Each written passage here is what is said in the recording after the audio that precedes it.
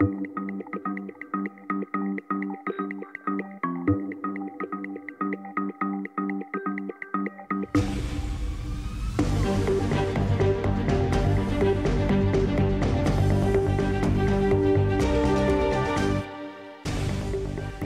Labadiena Lietuva su pirmąją žiemos diena visus jūs. Tikiu, kad šis metas gruodžio pradžia tikrai jau kaip niekas kitas artėjančiamis šventėmis pradeda jausis ir asocijuotis. Tai ir apie šventės ir ne tik. Šiandien laidoje pirmiausia kalbėsime apie tai, kad prokurorai pareiškia įtarimus dėl neteisėtų lėšų pasisavinimo Jonavos rajono merui Mindaugui Sinkevičiui. Ar tai gali tapti naujų išbandymų socialdemokratams? Politologės Rimos Urbonaitės įžvalgos tiek šią, tiek keletą kitų temų. Netikros paskyros socialiniuose tinkluose, kur jų daugiausia sukūriama ir kokių problemų ši industrija gali sukelti. Viešoje erdvėje du Junktinės karalystės karališkosios šeimos nariai kaltinami rasizmu. Kaip tokie skandalai apskritai veikia monarchiją, tai taip pat viena laidos temų. Ir kaip jau užsiminiau, tikrai skirsime laiko artėjančiams kalėdams. Miestai žiebė pagrindinės miestų eglės, o šventinė nuotaika, kuriantys traukiniai grįžta į šalies geležinkelius. Kviečiu pasilikti su mumis bent jau iki 16 val. temų tikrai bus ir daugiau, o pradžioje naujausių pranešimų apžvalga su Egle Bučelyte.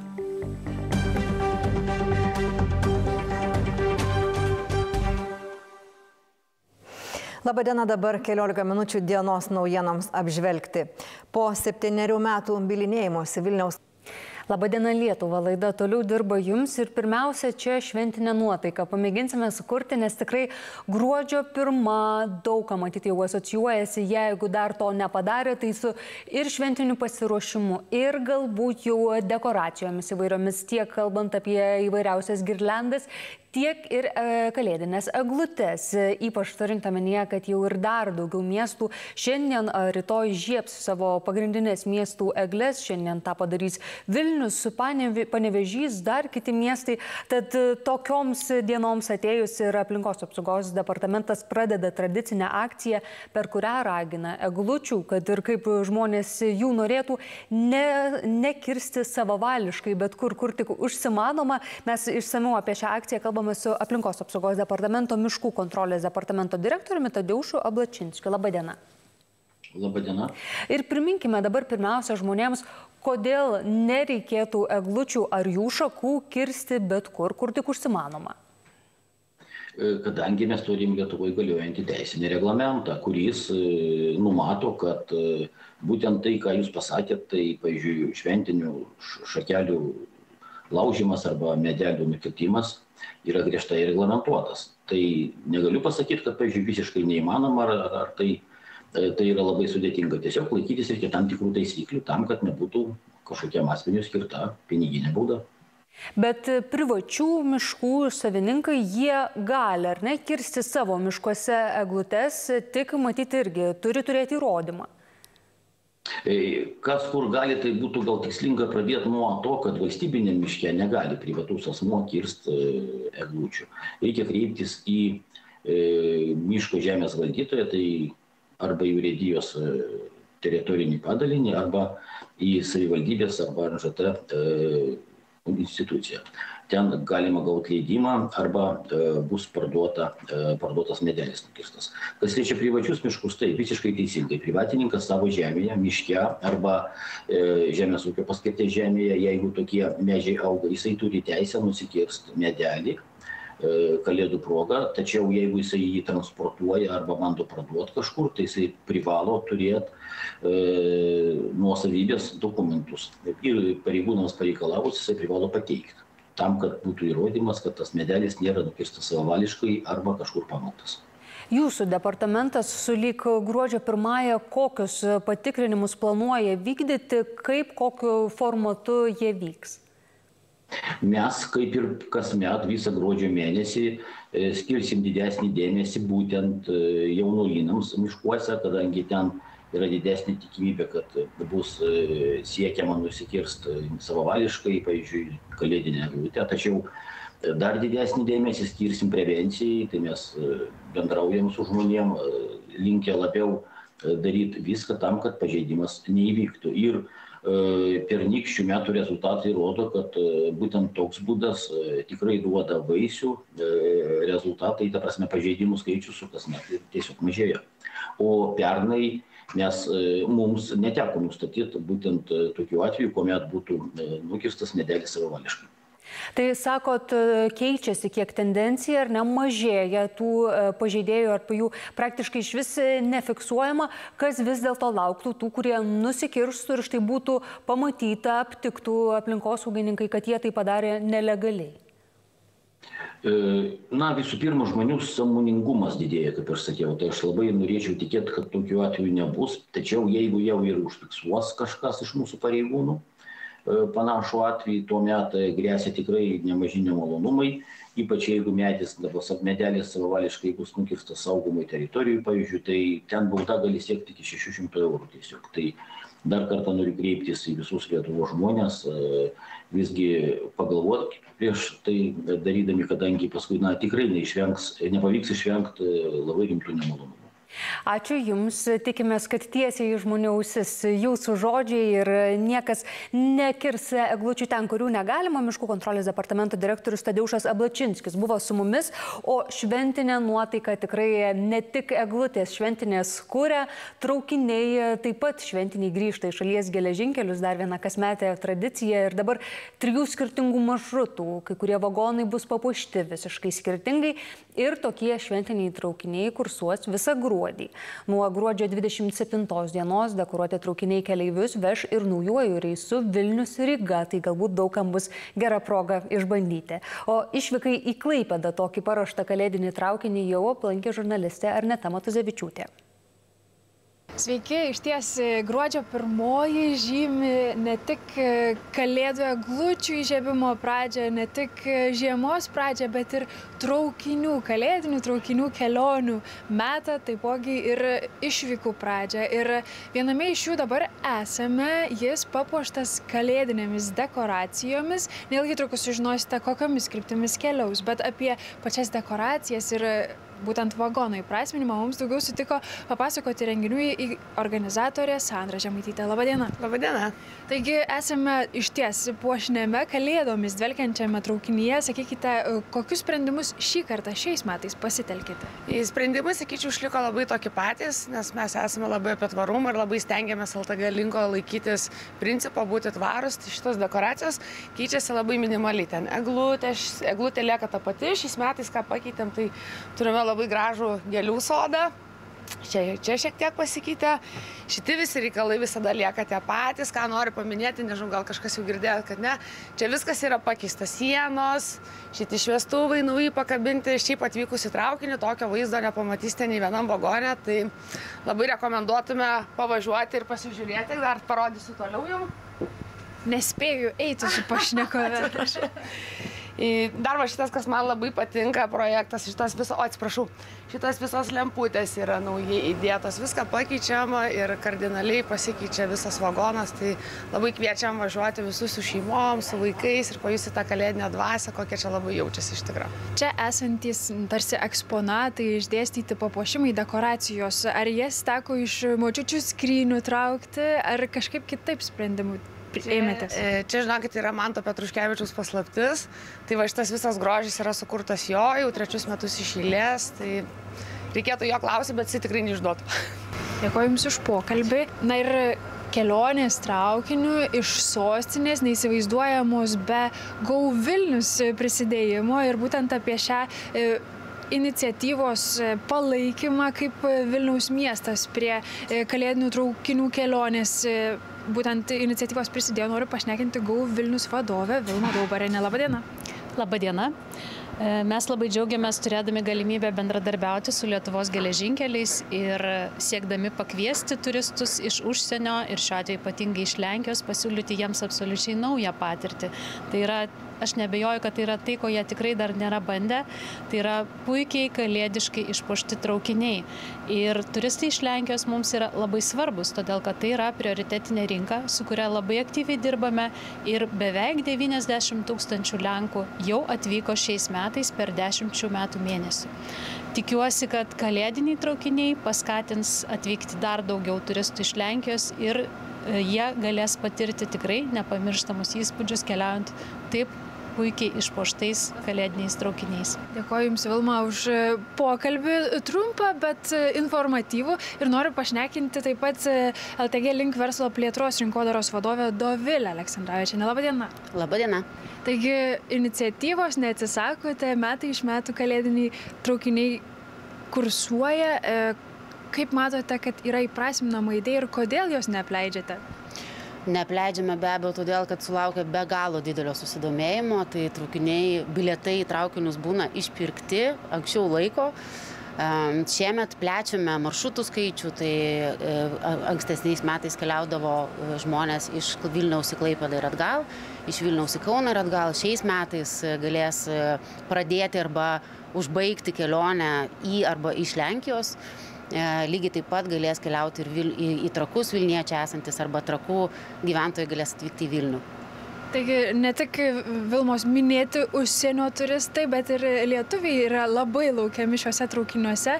Ar toji patirtis, e, tos emocijos, kurios yra sukūriamos, e, paskui jaučiasi, kad žmonės turi lūkesti ir vėlesnėse šventėse?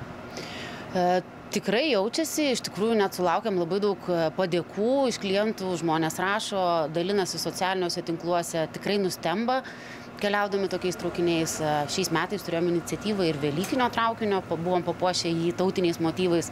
Tai tikrai žmonės sutinka labai su šypsena, labai nustemba, kelionė patampa visiškai kitokio pobūdžio, labai emocionali, nuotaikinga. Tai žmonės džiaugiasi, mes už tai jiems tą dovanojame kiekvienais metais. Ir dabar apibendrintai pristatykite, kokie maršrutai, kuriais maršrutais keliaus kalėdiniai traukiniai ir kaip į juos patekti. Vilnius Klaipėda, Vilnius Kaunas, e, Vilnius Trakai ir Vilnius e, Varšuva e, pirmin bei atgal, o patekti be abejo, perkant bilietus, kainos yra tokios pačios kaip ir įprastai. Turime šiais metais nuostabą, staigmeną Klaipėdos e, keleiviams, tai ne visi jie žinos, kurie yra šventiniai traukiniai. E, didelė dalis traukinių yra iš karto jau bilietų sistemoje pažymėti kaip šventiniai, tai perkant bilietus galima bus matyti, kuris yra šventinis. Bet lygiai taip pat e, laukia surprizai į Klaipėdą ir iš Klaipėdos keliaujančių žmonių, kurie įlips į traukinį visiškai netikėtai ir pamatys, kad jisai yra išpoštas. Dėkoju Jums už pokalbį, Dovilė. Štai taip e, Vilniuje prasideda sostinė švenčia e, pradeda švęsti kalėdas ir taip e, traukiniais planuoja dalytis tuo su visa Lietuva. Nepraleiskite progos pasidžiaugti šiais gražiais įvairiais papuošimais. Nežinia, ar tokį ar kitą traukinį savo kelionėje aptiksite. O dabar tęsiame Labą dieną Lietuvo laidą. Ačiū ar net už šventinės nuotaikos sukūrimo, o čia laidoje visai trumpa pertrauka, po kurios apie naują skandalą susijusi su karališkąją šeimą Junktinėje karalystėje.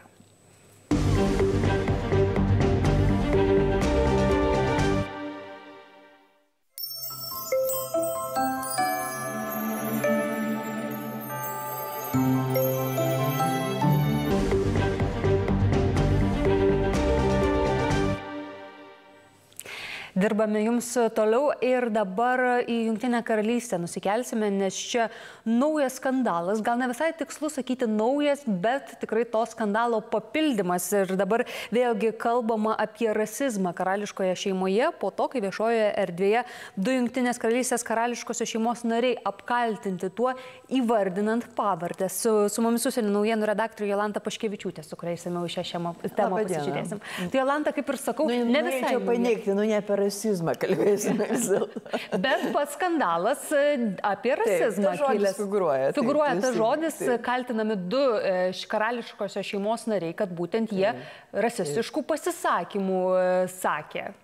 Jolanta kontekstą apžvelgit mums. Na, mes turime omenyną knygą Omidos Kaubi britų rašytojo, kuris gyvena Junktinėse valstijose ir kurio knyga neseniai pasirodė, vadinasi Endgame, tai na, lyg pabaiga, lyg paskutinis žaidimas, nežinau, kaip čia galima būtų ją išversti. Ir faktiškai skandalas kilo tuomet, kai pasirodė jos vertimas į olandų kalbą. Ir faktiškai būtent toje olandiškoje versijoje buvo įvardyti asmenys, kurie, na, E, pasakysime mes vardus, jau e, e, atskleisime, tai yra kara, pats karalius, Karolis, tuomet dar jisai buvo Velso princas ir Ketrin, princo Viljamo žmona, kurie nevadomėjusi, kokia, bu, kokia, o, kokia odos spalva bus būstimo, e, na, Megan, Megan princo Hario žmonos, e, žmonos kūdikio e, odos spalva. Na, tai buvo mm, dar prieš gimstant Arčiui ir faktiškai dabar yra, iš pradžių buvo apie tai kalbama net ir per interviu su Opra Winfrey, tai sakė pati Megan Marple, bet faktiškai, kad buvo klausoma apie Arčio odos spalvą, tačiau tuomet jinai neįvardijo to asmens ir na, atsisakė įvardyti. Na, o dabar neva nuo e, olandiškoje versijoje staiga atsiranda tie asmenys, kurie neva galėjo to paklausti. Ir neva netyčia, ar ne? Sakoma, na, kad labai pasirodė, tai, kad faktiškai, bet tai iš tikrųjų, na, tas toks ažiotažas e, kažkiek gali stebinti, nes faktiškai iš tikrųjų knygos įžangoje yra sakoma, kad štai ta dalis knygos visam laikui sudegina statys tiltus ir papasakos istoriją, kad tai jau, žaidimo, kad tai jau žaidimo pabaiga. Kita vertus, ar kas nors yra naujo, nes kiek jau yra pasisakyta apie karališkąją šeimą ir kaip pastebi New York Times, kad apie tai kalbėjo ir na, e, šviesaus atminimo karalienės Elžbietos antrosios Marčios Fergi, kuri buvo Andrew žmona, ir princesė Diana. Pagaliau pas ir Čarlzas yra nesikį kai ką pasisakęs. Kita vertus, kiek kartų kalbėjo Haris? Dar kartą Haris, dar kartą Haris, kaip rašo New York Times. Taigi faktiškai nėra nieko naujo. Bet pavardžių konkrečių įvardinta Taip, iki šiol nebuvo. Iki šiol nebuvo ir man, mane tiesiog paprasčiausiai atkreipė, norėjau atkreipti dėmesį tai, kad iš pradžių jokie Britų laikraščiai, juolab ten, sakykime, nacionalinis transliuotojas, vengia skelbti tai, kas yra narašomoje toje olandiškoje versijoje. Ir tik tai, fakt, nors iš tikrųjų tas, kas naudojasi kažkokią tai bet kokią elektroninę priemonę, galėjo pasigūglinti ir iš karto rasti, kas tai galėtų būti. Ir tik paskui, bet trečiadienį vakare, e, Pirsas Morganas savo šou, kuris buvo pavadintas necenzuruotai, iš tikrųjų labai atitiko pavadinimą, e, pasakė, kad, na, kas buvo tie karališkiai asmenys, kurie galėti, galėjo domėtis e, mažojo arčio odos spalva. Ir iš tikrųjų The Guardian tapo pirmoji Britų laikraščių, kuris paskelbė savo svetainėje jau tos vardus.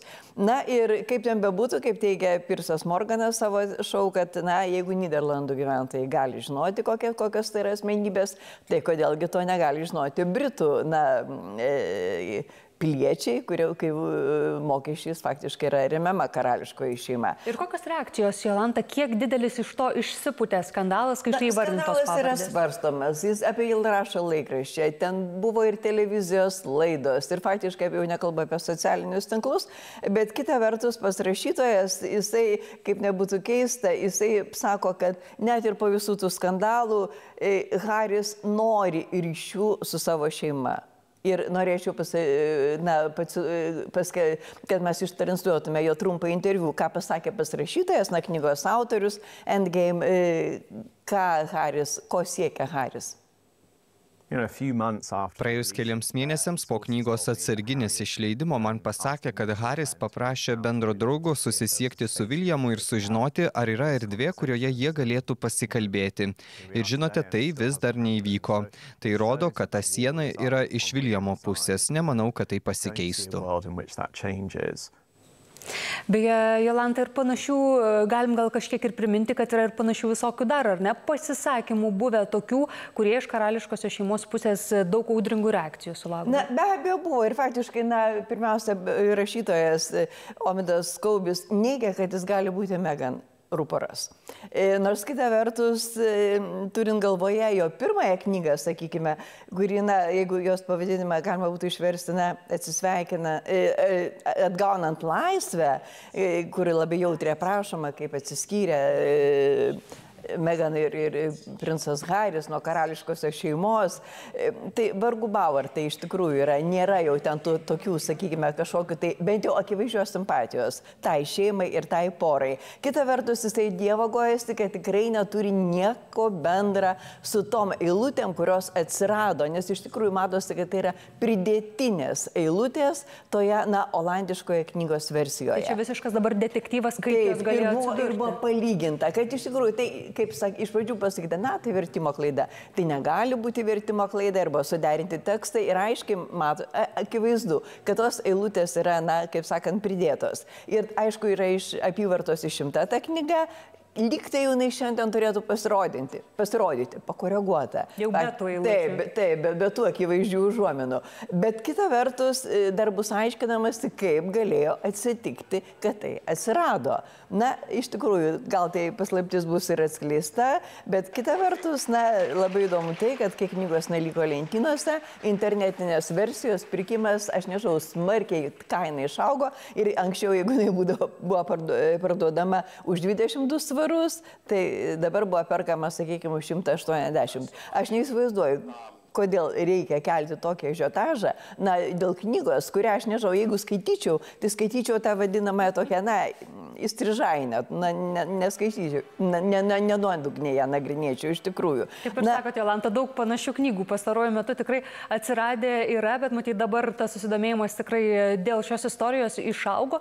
Ar gali kažkokių ir neigiamų pasiekmių karališkai šeimai turėti? Na, kaip jam bebūtų, nors jau, kaip, kaip teigia pats, na, sak, sakantis, kad jis nėra šeimos draugas, rašytojas, na, Omedas Kaubis, kad Haris ieško ryšių su šeima ir labai norėtų, na, kažkokius tai ryšius palaikyti, bet aš manau, kad vat, po tokių, tokių, nežinau, gal antausių šeimai vis dėlto e, vargu bauer greitai ta e, karališkoji šeima ir, ir su, su princo Hario vaikais susirinks prie kalėdų eglutės, kaip iš tikrųjų, ko gero, būtų labai gražus vaizdas ir, ir, ir norėtųsi, kad tie pusbroliai ir pusėserės e, gražus ir mažieji tarpusavėje bendrautų. Na kita vertus, ar yra rasistinis klausimas, jeigu klausia apie odos spalvą? Matyt, vertinimų įvairiausių. Nes nors karališkoji šeima iš tikrųjų, jinai po, po, sakykime, ir po interviu su Opra Winfrey, jinai neskelbia pareiškimus. Ir labai aiškiai tiesiog, kad e, paaiš, e, pareiškia, kad iš tikrųjų mes tikrai nesame rasistinė šeima. Na, Ačiū Jums, Jolanta, vertinimus ekspertams palikime. Kažkiek tai tą visą tokį, na, protrukį sakykime, rasizmo, nors e, galbūt karalienė Elžbieta tramdė, nežinia, kaip bus e, e, karolio laikais, na, galbūt tai buvo užuomina šio rašytojo, na, pažiūrėsime, gal bus daugiau knygų. Pasižiūrėsime ir galbūt, kaip sakot, vieną dieną pamatysim ir visą, visą karališkąją šeimą prie kalėdų stalo, galbūt tik ne šiemet, bet kuriuo atveju tikiu, kad įdomu daugam karališkosios šeimos gyvenimas ne tik Junktinėje karalystėje, bet ir daug kur kitur pasaulyje, bet sugrįžtam laidoje į Lietuvos temas ir Lietuvos kultūros taryba už užsakė ir galiausiai buvo sudarytas šių metų savivaldybių kultūros indeksas. Ir trėja Kristina Mažikaitė pateikė įvairiausių duomenų, kurie paaiškėjo tai ir kurios savivaldybės kultūrai savo biudžetuose numato daugiausia lėšų ir kokia apskritai šiemet kultūros situacija šalyje, ką reikėtų pakeisti, patobulinti. Tai plačiau apie tyrimo rezultatus kolegė iš Kauno Juratė Niulenytė. Labadiena, tai turbūt kultūros bendruomenės labai laukiamas, e, pristatomas šiuo metu yra e, savivaldybių kultūros indeksas, apie jį plačiau ir pakalbėsime. Su tyrėja, ponė Kristina, sakykit, kas yra e, savivaldybių kultūros indeksas? Na, tai yra įvertinimas bendros kultūros situacijos kiekvienoje savivaldybėje su galimybė palyginti ir vertinamos yra septynios skirtingos grupės. Tai tikrai yra labai toksai, sakyčiau, platus ir visapusiškas kultūros situacijos peržiūrėjimas, pasižiūrint, kiek yra yra kultūros organizacijų ir kuriejų kultūros pasiūlos, ar patenkinti kultūros prieinamumų gyventojai, kokia kultūros paveldo situacija, kiek yra aktyvios kultūros organizacijos per apyvartos, pridėtinės vertės charakteristikas, na ir žinoma, koks finansavimas kultūrai. Didžiulis darbas atliktas, tiesa, antrus, antrus metus jau lyginat Labai matot kažkokius didžiulius pokyčius žiūrinti visas savivaldybės? Na, tokių labai gal dramatiškų pokyčių lyginant 21 ir 22 metus nefiksuočiau.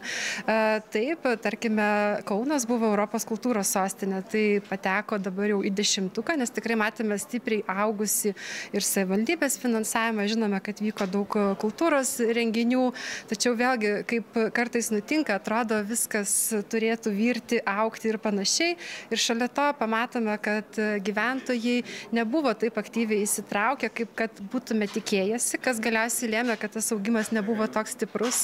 Stipriai paaugo molėtų savivaldybė, vėlgi pakilusi irgi į pirmasias pozicijas.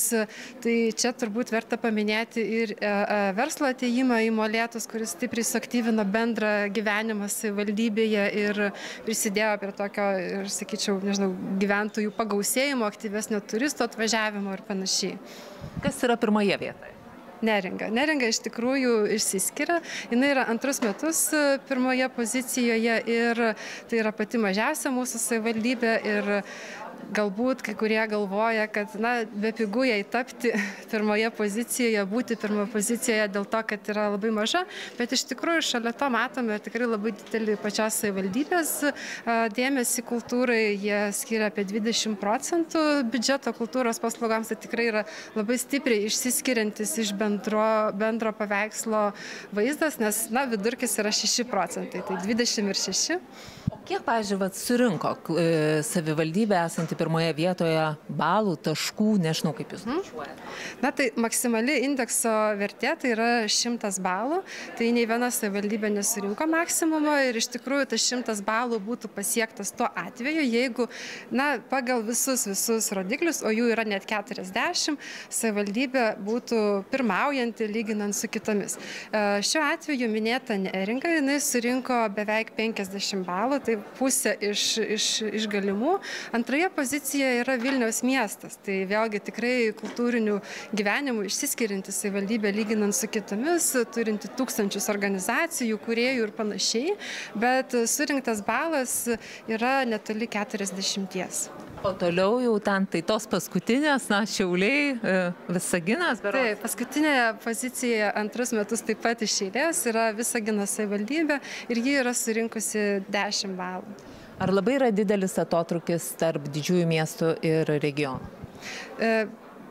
Ir taip ir ne. Tai jeigu kalbame apie Vilnių, tai taip, bet e, sakykime kiti miestai, arba jeigu žiūrėtume į savivaldybių klasterius, tarkime, didžiųjų miestų grupė, ne, visi šeši didieji miestai ir kurortinių savivaldybių klasteris, arba e, kaimiškojų savivaldybių, tai e, miestai nedominuoja bendra, bendrai, kad, e, tarkime, būtų stipriai aplenkę kitus priešingai. Kurortinės savivaldybės bendrai įvertinus yra aukščiau e, ir jų bendras balas balas yra beveik 10 balų aukštesnis negu kad e, e, didžiųjų miestų. Didieji miestai yra labai įvairiai išsidėstę. Tai antroje vietoje turime Kauną, 50, atsiprašau, taip, Vilnių, o antroje vietoje turime Vilnių, o 59 turime Alytų. Tai tas padengia iš esmės visą, visą e, reikiuotę. Ar skaičiavot, kiek pinigų uždirba kultūra? Čia iš tikrųjų turbūt vienas labiausiai intriguojančių klausimų. Yra be galo daug skirtingų metodikų, kaip tą padaryti, bet vieno tikslaus atsakymo ne. Tai iš tikrųjų bendrai kultūra prisideda ne tik prie ekonominių rezultatų, bet ir prie socialinių, stipresnių bendruomenių. Kaip tai įkainoti irgi yra geras klausimas. Ar jūs, tyrėja, nustebino kažkas, kas sakėt, oho, kaip, kai surinkot jau visus duomenis? Na, mane gal labiausiai nustebino gyventojų dalyvavimo duomenys ir pasitenkinimo kultūros prieinamų duomenys. Sakykime, buvo matomas Panevežio miesto ir savivaldybės augantis finansavimas ir žinome, kad yra kūriamas Tasio Idrigevičius menų centras, kur tikrai turbūt daugelis su nekantrumu laukiame, kada bus atidarytas pilnai. E, tuo tarpu e, pačių gyventojų dalyvavimas kultūroje kol kas yra vienas žemiausių lyginant tarp savivaldybių ir tikrai bus įdomu pasižiūrėti pasižiūrėti, kaip, kaip vėliau bus bandoma išjudėti iš šitos situacijos. Ačiū Jums, kam įdomu, tikrai turbūt galės rasti internete visus duomenis. Tikrai, taip, taip, ir, ataskaita. ir ataskaitą tikrai galima pasinagrinėti ir pasižiūrėti. Mes grįžtame į studiją Vilniuje. Ačiū Juratė, o čia studijoje tema apie socialinių tinklų netikras paskiras. Matyti dažnai Rusiją įsivaizduojame ir kalbame įvairiausiose pokalbiuose apie tai, kaip jį kūrė ir išnaudoja savo įvairiausias netikras paskiras, bet dabar Meta kompanija, valdanti ir Facebooką ir kitus socialinius tinklus, pašalino pluoštą, patį visą tinklą netikrų paskirų ir šis tinklas buvo įkurtas Kinijoje. Tad mes įsamiau apie tai kalbame su LRT žurnaliste Jurgita Čiaponytė. Sveika. Labadiena. Tai šis tinklas, būtent kurį meta pašalino, susijęs su Kinija, koks tai tinklas, kaip jis veikia ir na, kokią grėsmę kėlė.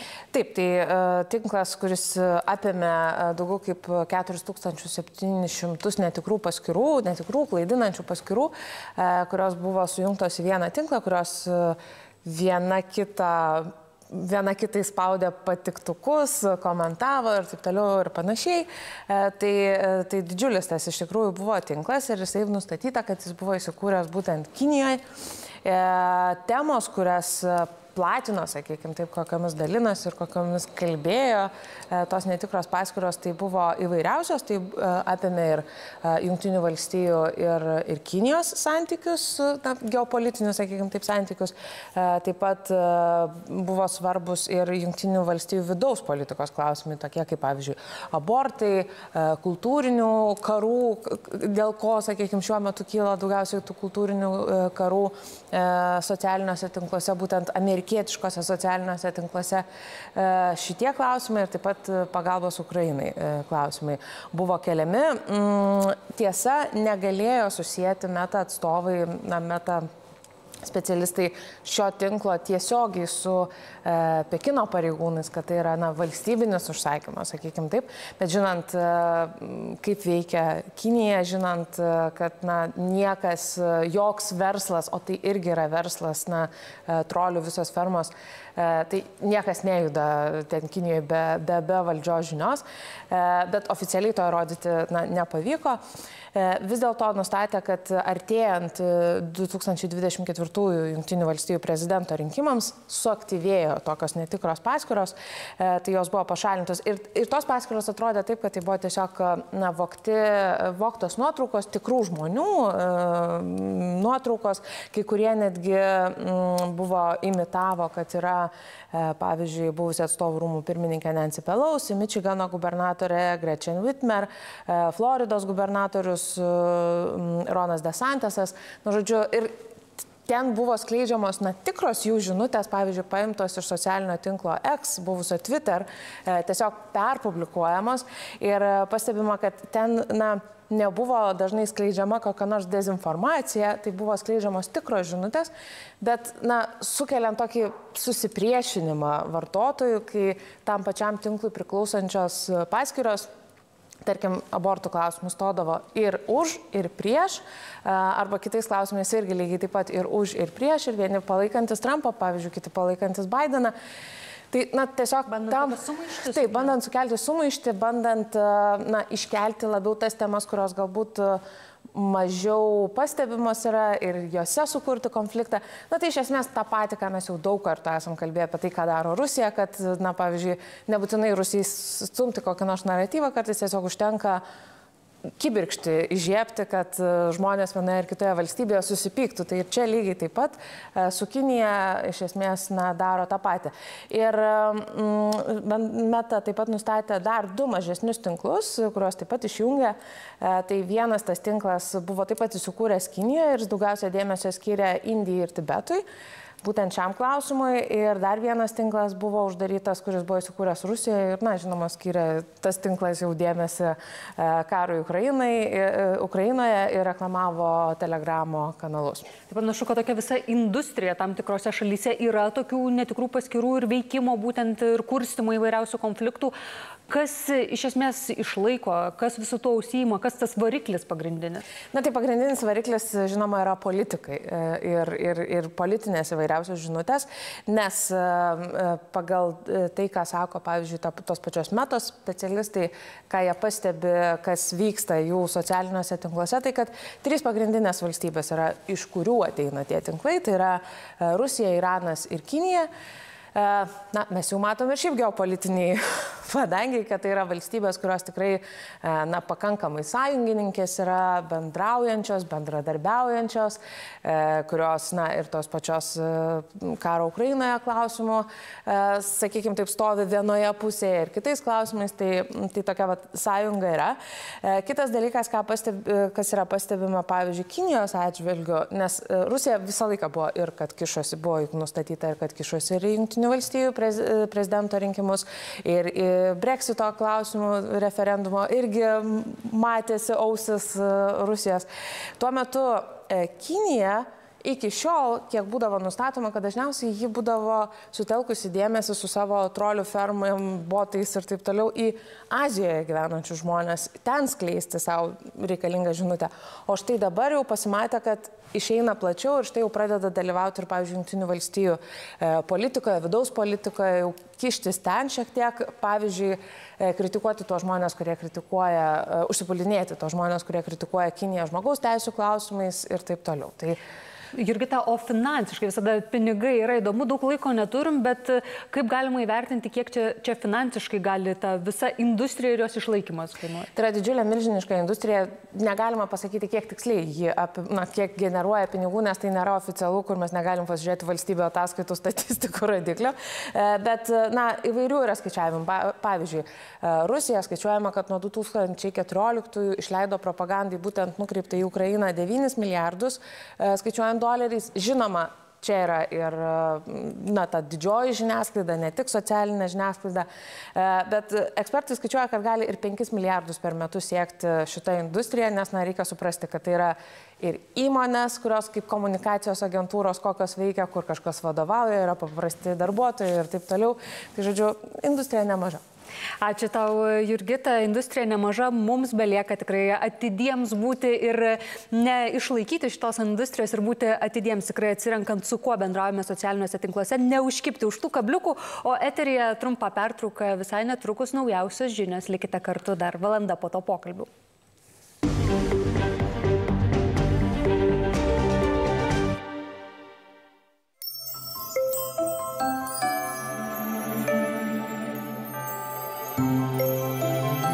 Laidoje metas savaitės politinių įvykių apžalgai ir čia pirmiausia apie tai, kad vadinamojo čekiukų skandalo teisėjas sauga nepamiršo ir dabar prokurorai pareiškia įtarimus dėl neteisėtų lėšų pasisavinimo Jonavos rajono merui Mindaugui Sinkevičiui. Tai viena iš temų, kurią apžvelgsime su Mykolo Romerio universiteto politologė Rima Urbanaitė. Sveiki. Labadiena. Tai e, Rima ar Sinkevičiaus problemos su teisėjas sauga gali tapti rimtų iššūkių socialdemokratams, turint omenyje, kad Sinkevičius jau ir be kelių minučių premjeru, būsimų premjerų buvo vadinamas? Taip, iš tikrųjų, na, turbūt puikiai suprantame, kad šita naujiena rezonuoja būtent todėl, kad tai nėra eilinis tam, tikras, tam tikros savivaldybės tarybos narys. Tai yra Jonavos meras, tai yra be visa ko Lietuvos savivaldybių asociacijos prezidentas ir tai yra na, planuota viena ryškesnių figūrų tikėtina artėjantiems ir Seimo rinkimams, kurie bus rudenį, nes būtent partijos pirmininkė Vilė Blinkievičiūtė kalbėjo apie tai, kad jis galėtų būti netgi tas, kuriam bus patikėta valdyti vyriausybę.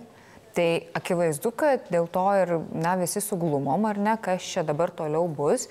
E, ir paradoksalu, kad vis dėlto mūsų rinkėjai labai jautriai reaguoja, kai prasideda korupciniai, pavyzdžiui, skandalai. Mes jautriai reaguojam ir tada, kai yra, pavyzdžiui, na, tie nuosprendžiai netokie, kokių mes tikime, tikimės, pavyzdžiui, korupcijos bylose. Bet šiaip rinkėjai yra labai tolerantiški, kai prasideda jau patys rinkimai ir reikia atiduoti balsą. Kitaip tariant, jau žiūrėk, tas teistumas ar ten kažkoks korupcijos šešėlis tampa, na, nelabai aktualus. Per metus iki rudenio gali pasimiršti. Taip, tai vad ką ir noriu pasakyti. Čia aišku ne visai korupcija, bet čia yra iš esmės dokumentų klastojimas. Mes puikiai žinome, kokie tie dokumentai buvo. Patys matėme tai, ką viešino uh, ir Andrius Tapinas su Laisvės TV, kurie ir yra šito projekto skaidrinami iniciatoriai. Tai jau mes tada supratom, kad na, neteisiškai, bet nu, tiesiog žmogiškai tie faktai buvo labai iškalbingi. Bet tie faktai nebuvo iškalbingi partijai, aš atkreipsiu dėmesį.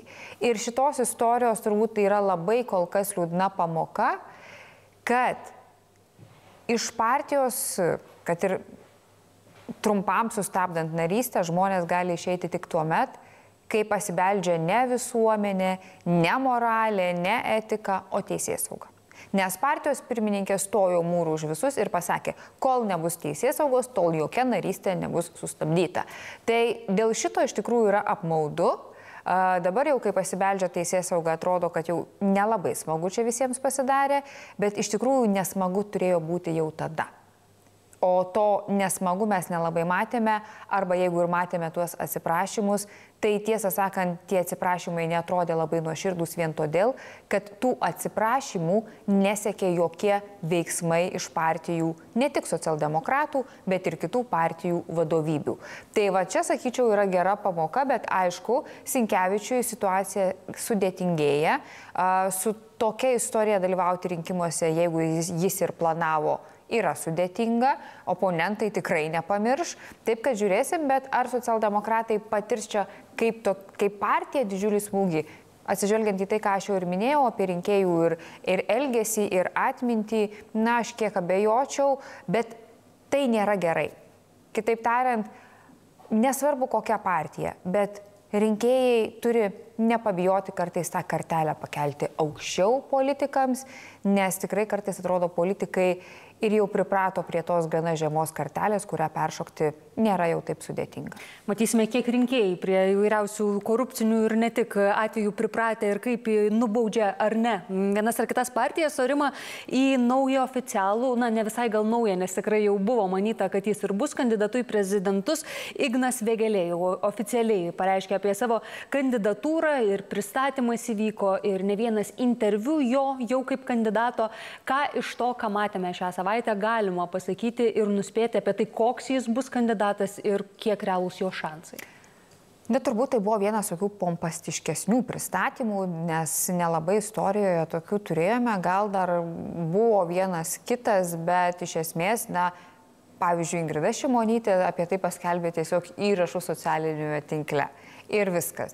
Čia mes matėme gana iškilmingą renginį su krūva kviestinių svečių, su dainomis, himnų renginio pabaigoje ir kandidato netgi ašaromis, tai tikrai matyt, kad jau buvo tam ruoštasi, bet kas yra kol kas visiškai neaišku ir neiškėja, tai yra kokia vis dėlto bus užsienio politikos kryptis. Nes tiek to renginio metu buvo sukritikuota, pavyzdžiui, mūsų pozicija Baltarusijos klausimų arba atžvilgių ir vykdoma užsienio politika. Ir, tiek Vakar jau LRT dienos temoje taip pat buvo kalbintas Ignas Vėgelė ir jo vėl buvo paklausta apie tai ir iš esmės atsakymų mes negirdim. Mes taip ir nesuprantam, kas konkrečiai buvo padaryta blogai, ką jis keistų. Kitaip tariant, akivaizdu, kad dar vienoje pagrindinių, na vadinkime taip, sričių, tai yra užsienio politikoje, plano nėra. Dėl saugumo politikos krašto gynybos politikos. Taip yra, pavyzdžiui, sukritikuotas prezidentūros parengtas dokumentas, bet ką kandidatas siūlytų, neaišku. Jis tik tai sako, kad pinigų yra, bet jie yra kažkur teoriškai. Kaip juos praktiškai paimti, na, jis vėlgi nesiūlo. Bet užtat aš matau gana nemažai populizmo tam tikro elementų, ypač tai ryšku per tą liniją, kad jis daug kalba apie tai, kad yra kažkoks va tas elitas, kuris čia tik tai siekia valdžios ir manipulacijomis veikia ir yra likusi tauta. Ir tai jau yra gana ryški tendencija šio politiko pasisakymuose, kas šiaip yra būdinga populistams, kurie visada eina vat, gelbėti tą tautą nuo to blogojo ir piktojo elito. Plus mes matome, kad tikrai daug dėmesio buvo skirta tokiems dalykams kaip LGBT bendruomenės teisų klausimams, Stambulo konvencijai, lygiai taip pat mes matome kalbėjimą apie bažnyčios svarbą ir turbūt nebereikalo salėje sėdėjo ir kunigas Doveika. Tai vertybiškai gali suprasti, į kokią auditoriją jis orientuojasi. Bet kalbant apie praktinę politiką, nes prezidentas turi tam tikrą ribotą galių na, spektrą, kol kas yra niekas neaišku. Bet kas tikrai yra aišku, kad tai yra vėgėlės gyvenimo projektas. Tai dažnai kandidatai eina, nes partija paprašė. Šitas kandidatas nori ir jis nori labai. O tai nėra jau tokia visai smulkmena, mostas platus Kaip rinkėjai sureaguos, aš kol kas nenoriu spekuliuoti, bet kai kurias rinkėjų nuotaikas matyti jis tikrai jaučia. Tačiau kalbant apie tiesioginių funkcijų vykdymą, kol kas man čia yra mažiausiai aiškumo, turbūt ga, gal rinkimų programa kažką parodys daugiau. Ir galbūt artėjantys įvairiausi debatai tarp Taip, kandidatų, žinoma, kurie be jokios abejonės bus. Dar gynybos politikos klausimai vėlgi nedingsta iš aktualijų. Čia ir po Gabrieliaus Landsbergio ankstesnių savaičių įspėjimų tokių apie mūsų pasiruošimą įvairioms grėsmėms, bet e, panašu, kad ne tik konservatoriai tarpusavėje nesutarė, kiekgi čia mes pasirengę ar ne grėsmėms. E, buvęs premjeras Ulius Kvernelis kelia dabar tokio patariamojo referendumo idėją dėl tolesnės valstybės gynybos idėjos. Kiek toks pasiūlymas konstruktyvus? Na, iš tikrųjų, mūsų saugumo situacija tikrai nuo karo Ukrainoje pradžios, mes jau artėjom prie dviejų metų sukakties, liūdnos sukakties reikia pažymėti, buvo labai sudėtinga. Kitaip tariant, aš niekada negalvojau ir pati, kad mes esame kažkokioj šiandien labai saugioj situacijoj. Ar ir šiandien, ir vakar, ir būtent nuo pat karo pradžios. Tikrai uh, natūralu, kad tų grėsmių buvo ir yra. Tačiau dabar tas toks sukeltas ažiotažas, e, tų asmenų, kurie tikrai visą tą laiką galėjo priminėti sprendimus, na, jis, kaip, kaip aš jau ir pati nekartą sakiau, kiek stebina. Ne dėl to, kad tai būtų netiesa, bent jau mano subjektyvė nuomonė, o dėl to, kad būtent apie tai pradeda kalbėti tik dabar ir konkretūs politikai, kurių galioje yra sprendimų prieimimas. Ir Nesikalba, atrodo, tarpusavyje ministrai, prezidentūra, nors čia yra mūsų kertinis valstybės klausimas. Dar tada iššoka į būtent šitą traukinį su referendumo idėja Saulis Kvernelis. Ir man atrodo, tai yra jau taip spekuliatyvu ir taip pavojinga, kad mes tikrai toje rinkimų kažkokioje karuselėje pamirštam apie svarbiausius dalykus. Mes puikiai suprantam, kad tai nėra paprastas klausimas, į kurį būtų lengva atsakyti. Ir žmonės kartais gali galvoti tik apie save, bet negalvoti apie valstybę tokiuose referendumuose. Ir gali labai labai asmeniškai pasižiūrėti, bet mes puikiai suprantam, kad kartais žmogaus vieno interesas nebūtinai yra visos valstybės interesas ir atvirkščiai aišku. Tai aš čia sakyčiau, kad mes matome labai pavojingas tendencijas būtent dėl to, kad tokioje kertinėje temoje kaip saugumas ir šalies gynyba mes matome iš esmės kakofoniją, tai yra visišką negebėjimą kalbėti neįvedant dar daugiau chaoso visuomenėje ir nerodant tam tikrų takoskirų.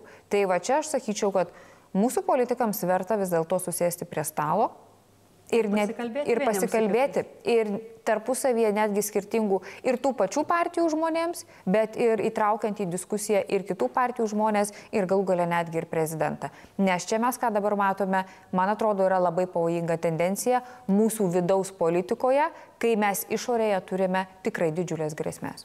Ačiū Jums, Rima, už politinių įvykių apžvalgą. Tikrai matom įtampų tarpusavio daug šiuo laikotarpiu, o apžvelgę politinės Lietuvos temas pasižiūrėsime į mokslo naujienas Kauno technologijos universitete universitete atidarytas inovatyvus laboratorijų, centras, daugiau nei 6 milijonus eurų jis kainavo, pats tas pastatas, kuriame įrengtos tikrai skirtingas disciplinas jungiančios eksperimentinės projektavimo ar prototipavimo laboratorijos. Tikiu, kad sudėtingai gali dabar skambėti tiems, kas ne iš mokslo pasaulio, bet tikrai viską paaiškins mūsų kolegė, ji apžiūrėjo ir pasidomėjo mokslininkų darbais. Tai dabar išsameu pasižiūrėkime, ką jis aiškino kolegė Kristina Karlonė.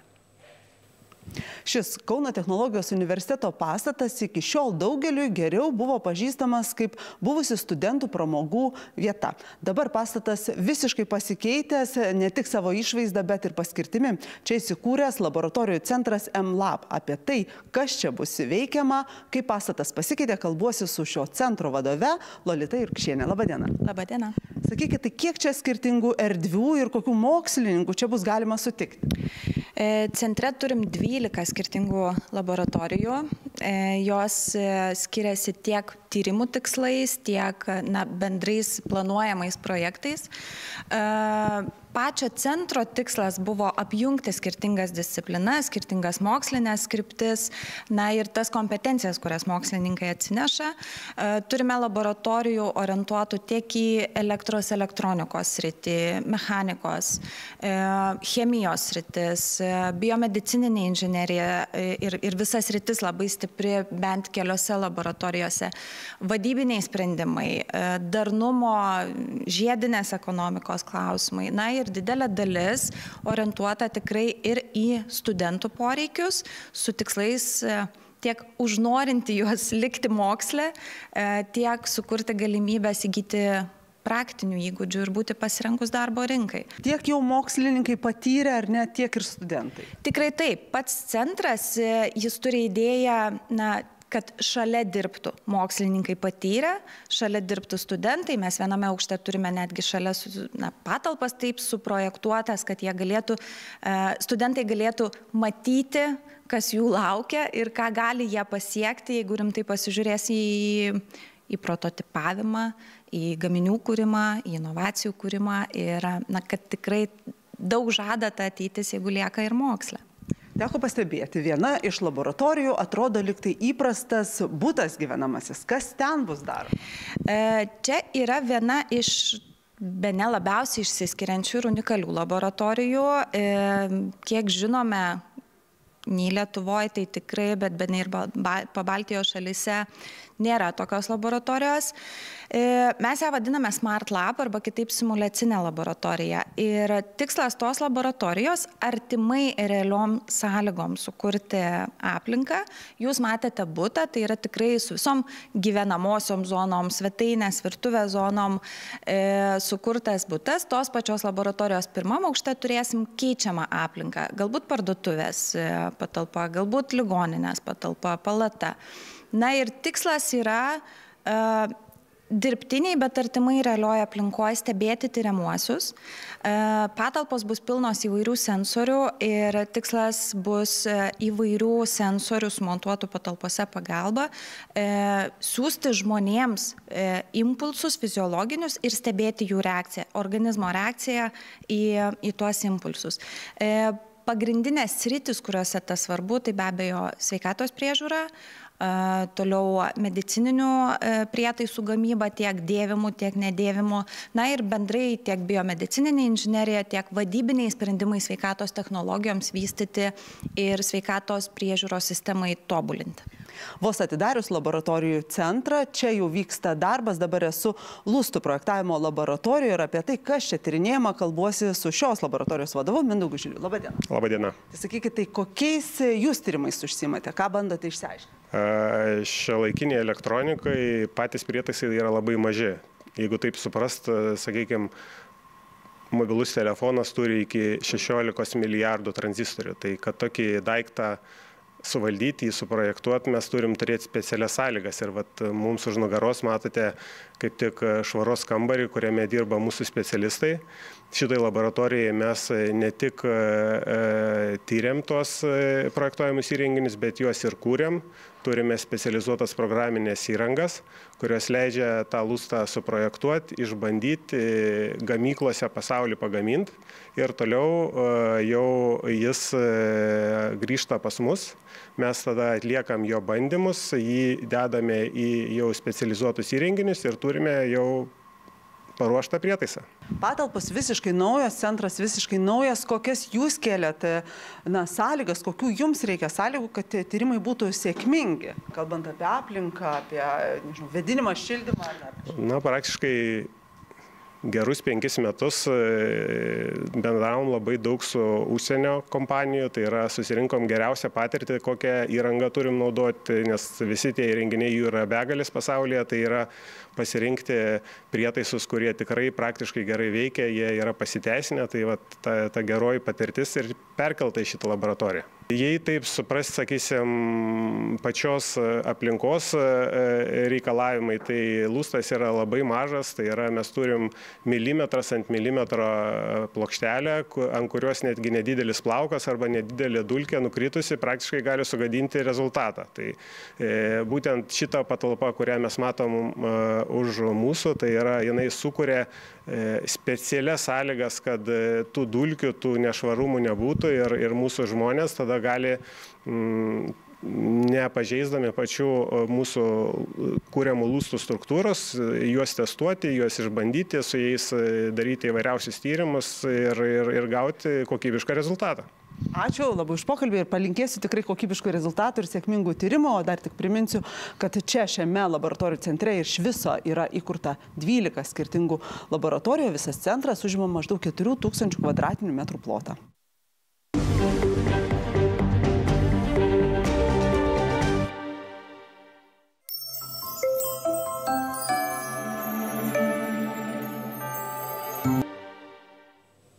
Toliau eteryje kreipimasis į tuos, kurie galbūt turi daug laisvo laiko arba to laiko gal tiek daug ir neturi, bet norėtų rasti jo prasmingiems darbams.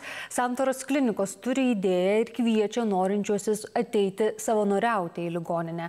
Daugiau apie tokios savanorystės galimybę kalbame su Santoros klinikų atstove Gitana Letukienė. Labadiena. Labai.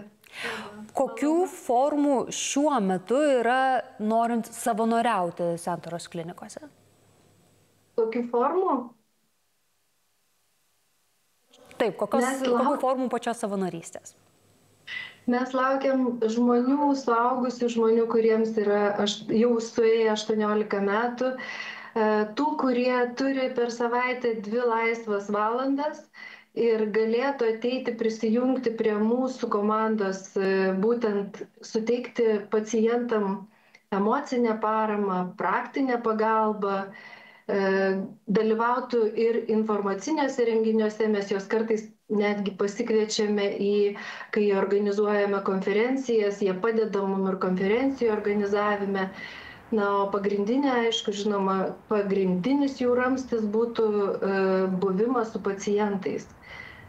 Keliuose skyriuose šiuo metu mes e, prašome ir kviečiame savanoriauti trijose skyriuose onkohematologinėme, ten, kur kraujo vėžių sergantis pacientai yra ir pakankamai ilgai gulintis ligonėje, kai kurie yra net ne iš Lietuvos arba neturi artimųjų arba jų nėra šalia. Mm, Taip pat ne, nefrologijos inkstų lygų skyriuje, kur pacientai taip pat e, e, pakankamai sudėtingi, galbūt po transplantacijų netgi. Na ir žinoma, yra karštas taškas, e, kur savanoriai be galo yra laukiami prieimimo ir skubios pagalbos skyriuje. Tai ten jie yra labai vertinami, mūsų darbuotojai džiaugiasi kiekvieną kartą, kai apsilanko savanoriai. O kaip dėl savanorių paties kiekio šiuo metu yra, ar jų iš principo pakanka, ar jaučiamas jų trūkumas, kokios apskritai tos tendencijos pasaraisiais metais? Matot, e, savanorystė yra toks turbūt irgi gyvas, e, gyvas organizmas. Ateina žmonės, savanoriauja, e, pasavanoriauja ir ypač COVID metu kai kurie nutirpo, išsiva, išsivažinėjo, jie nėra pastovu, pastovus mūsų darbuotojai. Tai nuo 2015 metų, kai mes pradėjom savanorystę santoros klinikose, yra likusių, mes taip vadinam jokiais dinozaurų, nuo 2015 metų, tai tie likę savanoriai, jie metai iš metų keliauja kartu su naujaisiais, yra ir iš naujųjų keletas savanorių, bet jų mums nuolat trūksta. Todėl mes kiekvienais metais tengiamės atnaujinti, atnaujinti kvietimą, kviečiame savanorius. Šiandien kaip tik, beje, labai ačiū Jums už pasijungimą, šiandien kaip tik mes 18 val. ir kviečiame į Santoros klinikas potencialius savanorius į tokį informacinį renginį, kur mes pasipasakosime, mes pasirodysime, juos pasikviesime pasižiūrėti, pasi, pasimatuoti galbūt, ar jie norėtų ir galėtų savanoriauti ir dalyvauti mokymuose. tai jų mums nuoširdžiai visada trūksta. Visada trūksta. Tai vad metuose kartą mes darome mokymus, atrankas darome, nėra taip, kad mes bet ką, bet kada galime prisikviesti, pasikviesti pas save. Griežtos yra taisyklės, atliekame tokią rimtą atranką, po to mokymus praeina žmonės, net egzaminą praeina ir tada jau mes kviečiame savanoriauti ir bendrauti su pacientais. O Tai ką ir svarbu įsivertinti žmonėms, nes kaip ir sakot, noro kartais gali nepakakti, matyt, gal ir tam tikrų savybių, gal ir tam, tikras, e, tam tikrus įsipareigojimus reikia įsivertinti. Tai ką, į ką patartumėt atsižvelgti ir kaip patiems žmonėms save įsivertinti, ar aš čia galiu būti tinkamas ar ne? Tas kriterijus, kurį mes ir paminėjome, e, būt, būtent e, turėti šiek tiek laisvo laiko. Ir mes jau pradžioje sakėme, turėk dvi valandas per savaitę, skirk jas šiai, e, šiai sričiai ir jau vienas kriterijus yra plus. Tada be abejo žmogus turėtų būti sveikas. Tiek dvasiškai, tiek fiziškai.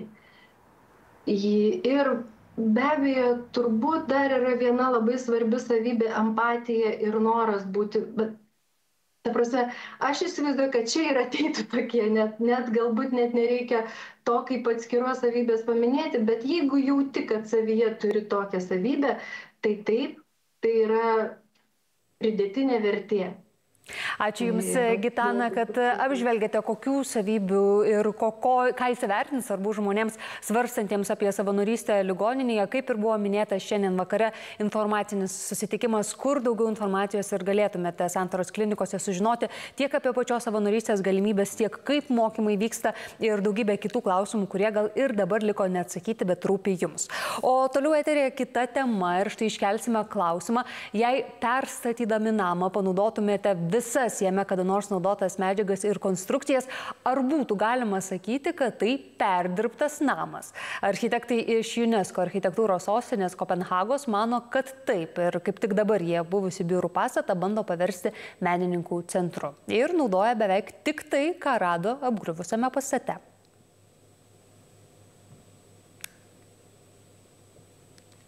Visai netrukus reportažas turėtų būti, tikimės, kad jums pa- pavyks jį pamatyti, o beje, iš karto po šio reportažo lauks socialinių tinklų apžvalga. Gabrielio Klauniūnaitė jau pasiruošusi studijoje ir tikrai apžvelgs jums tai, ką mes įprastai žiniuose pranešame ir informuojame, kaip tai atsispindi socialiniuose tinkluose. Taigi apie tai visai netrukus galime pasižiūrėti reportažą, bet ne šį, kurį ką tik anonsavau, o kitą pasižiūrėsime apie tai, kad Lietuvoje populiarėja pabėgimo kambariai, tai pramoga, kai uždaromi žmonės yra tam tikrame kambaryje ir žiūrima, kaip jie pavyks iš ten jiems ištrūkti ar ne. Tai į vieną tokių pavyzdžių Lietuvoje pasaulio muziejuje kviečiame dabar ir nusikelti. 60 minučių tiek laiko turi dalyviai iki kino senso, tačiau patekti į jį netai paprasta. Pirmiausia, reikia įveikti užduotis kino teatro bufete. Kadangi muziejus yra įkurtas buvusiame kino teatre, tai ir, ir bufeto pavadinimas už kadro, ir, ir čia būtent e, turime e, atkurtą kino ekspoziciją, kino salę.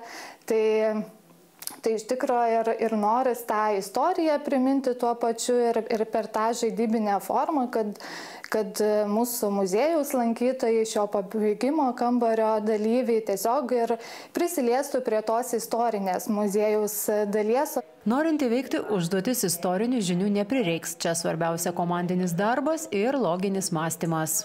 Užduotis pačias e, daugiau yra tiesiog susijusios su, su būtent daiktų pobūdžiu, bet e, ne su turiniu. E, Aišku, yra kelios, kur naudojam istorinės fotografijas, kur, kuriuose yra užkoduoti būtent kažkokios myslės. Tai, tai galbūt tik tiek, kas susiję, o šiaip tikrai nereikia labai turėti daug istorinių žinių, jeigu norim sudalyvauti šiame pabėgimo kambaryje.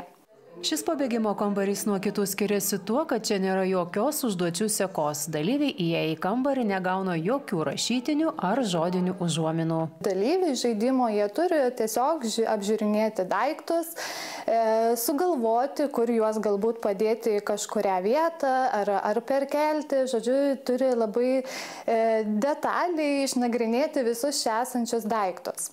Bet kad, kad būtų kažkokia seka, tai taip nėra. Tai čia yra vienas iš šio e, kambario galbūt yra sunkumo. Čia viskas veikia automatizuotai. Tai reiškia, kad teisingai supratus, ką reikia daryti su tam tikru daiktu, automatiškai bus duodama ženklas eiti prie kito daikto. Ir tai per valandą įveikus užduotis patenkama į kino salę. Joje daugybė įvairios kino atributikos. Ja muziejui padovanojo pasvalietis kino mechanikas. Su prašymu, kad tiesiog būtų ta įranga e, prieinama lankytojam ir, ir galėtų būtent jie susipažinti ir kažkiek prisiliesti prie tos e, kino istorijos.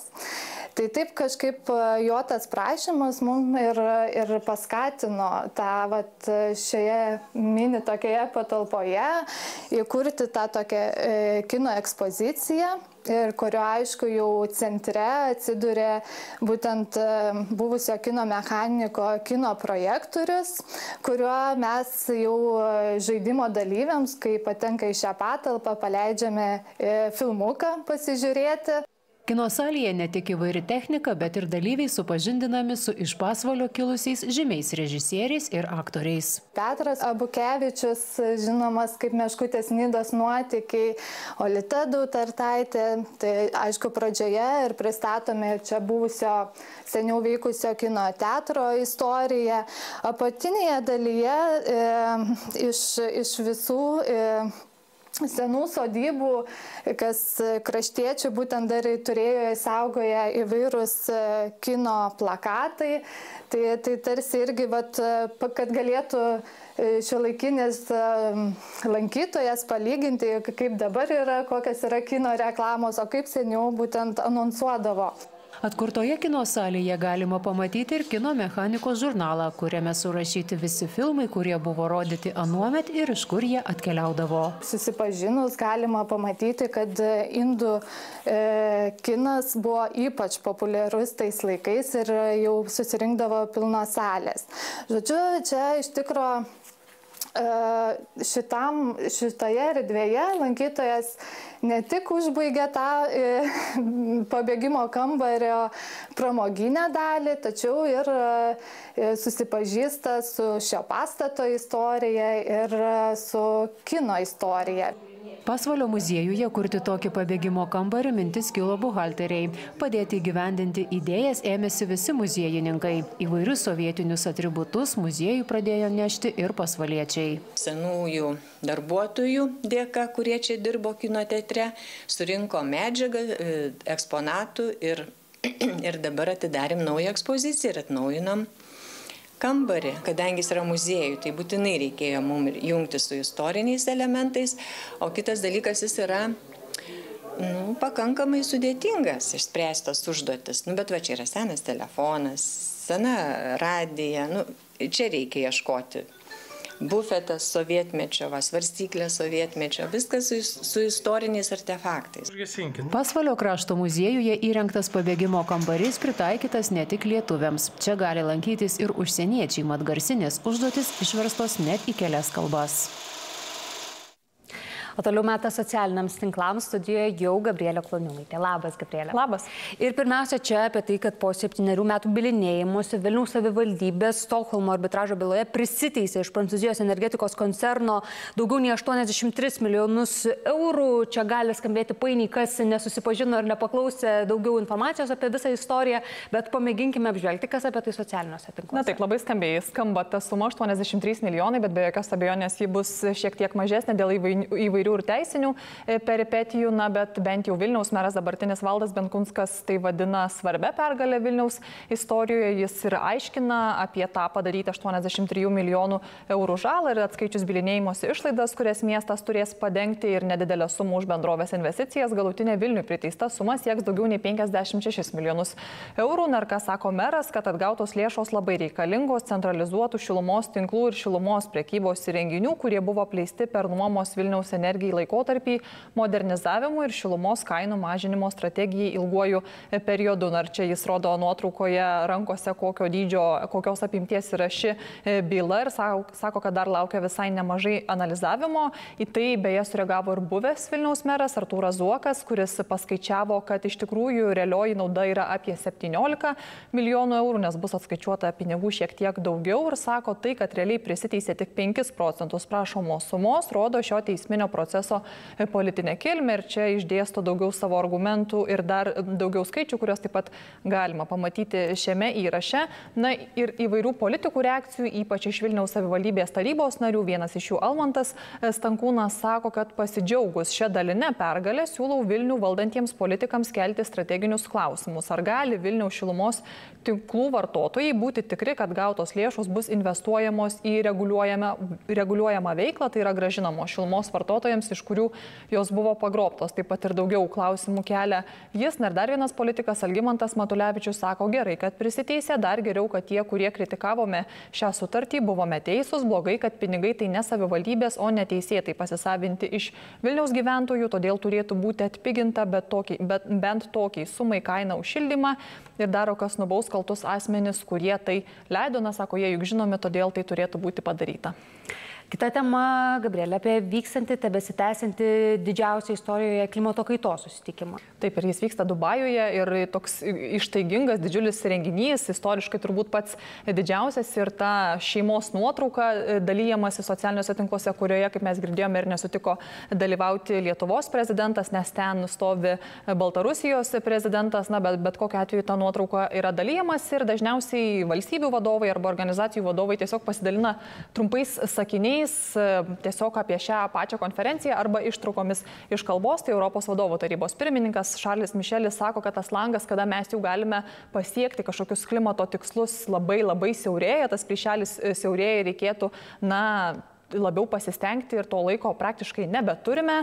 Kalba čia taip pat sakė ir Lietuvos prezidentas Gitanas Nausėda ir jis visai neseniai Facebook'e pasidalijo įrašu, sako, kreipdamasis į pasaulio lyderius Lietuvos vardu pabrėžiau, kad norint pokyčių vien kalbėti neužtenka, turime keistis patys, keisti savo įpročius ir priimti ryštingus sprendimus valstybių lygių. Nuo sprendimų priimtų dabar priklausys mūsų planetos ateitis, kokią ją paliksime savo vaikams ir ateities kartoms. Taip pat ir Antonijo Guterešas, Junktinių tautų generalinis sekretorius sekretorius sako, kad na, apsaugoti tą klimatą yra na, pats didžiausias išbandymas šiais laikais lyderiams ir lyderystiai. Dėl to na, kiekvienas iš lyderių valstybių turėtų į tai be jokios abejonės kreipti didžiulį dėmesį. Čia e, kalba sakė taip pat ir Junktinės karalystės monarchas Karalius Karolis III, kuris pabrėžia, kad Žemė mums nepriklauso, tai mes priklausome Žemiai. Na, bet kritikos šis susitikimas susilaukia kiekvien, kiekvieną kartą labai daug ir viena iš tų kritikuotinų, e, vienas iš tų kritikuotinų aspektų yra, kad dažniausiai valstybių lyderiai čia atvyksta lėktuvais ir yra pasidalyta ir žemėlapių virš Junktinių Arabų Emiratų ir daug kas tikrai kritikuoja, kad na, valstybių lyderiai čia atkeliauja lėktuvais, kurie yra labai labai labai taršus ir tos kelionės yra taršios ir vis tiek čia susitikę diskutuoja apie klimato kaitą. Apie susitikimo rezultatus be abejonės ir žiniuose, o aš, Gabrielė, nebejoju, kad kažkada ne mes čia sėdėsime ir net ne kiti žmonės, o dirbtinio intelekto sukurti kokie nors robotai, nes tai jau tampa realybė ir atlikėjai, solo atlikėjai sukurti dirbtinio intelekto jau debituoja. Taip, ir mes galime netgi pasiklausyti. Ana Indiana yra dirbtinio intelekto sukurta solo atlikėja. Atkreipsiu atkreipsiu dėmesį, kad Ana Indiena, jos inicialai yra A ir I arba AI, tai yra dirbtinis intelektas anglų kalba, tai neatsitiktinis yra jos vardas ir pavardė ir ji pristatė savo dainą, kelias sekundės galime pasiklausyti.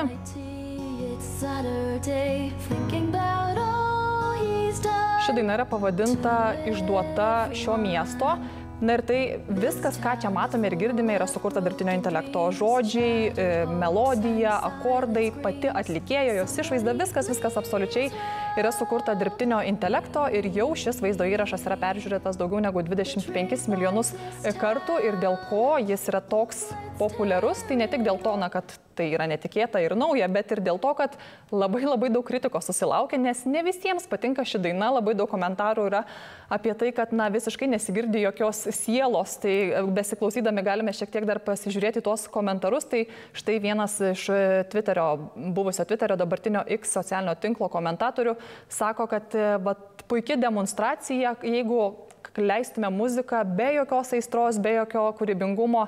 E, kiti sako, kad na, iš atlikėjų niekada nebus atimta muzika, nes dirbtinis intelektas tiesiog negali e, na, pateisinti atlikėjų, o kiti sako, kad nusiraminkit, vos prieš metus debitavo dirbtinis intelektas, taip jau labai, kaip mums suprantama, dėl to dar pamatysime geresnių rezultatų. Dar tikrai ištobulės ir mūsų praktiškai nebereikės, o gal ir visgi reikės, kaip sako kai kurie vartotojai. Ačiū Gabrielė už socialinių tinklų apžvalgą, ačiū Jums, Jums, kad buvote draugė su mumis. Visai netrukus Eglė Bučelytė ir naujausios žinios. Likite kartu ir gražaus savaitgalio. Iki.